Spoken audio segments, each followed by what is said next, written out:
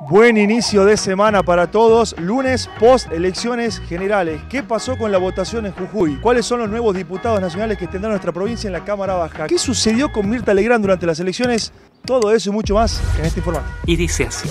Si bien el nuevo presidente electo ganó las elecciones en el resultado total de la provincia de Jujuy, Mauricio Macri se impuso en tres departamentos sumando dos nuevos distritos en comparación de las PASO.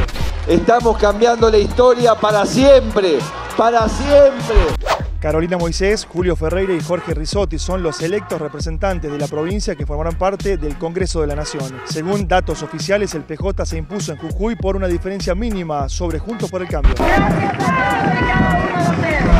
La Cámara Nacional Electoral puso a disposición del público un sitio para denunciar irregularidades durante la jornada electoral y la conductora no se quedó afuera. Como siempre, Mirta dando que hablar. ¿Se puede hablar de esto, no, chicos? Eh, ¿Se puede o no? No, sé si en plena veda. ¿Ah, sí? No.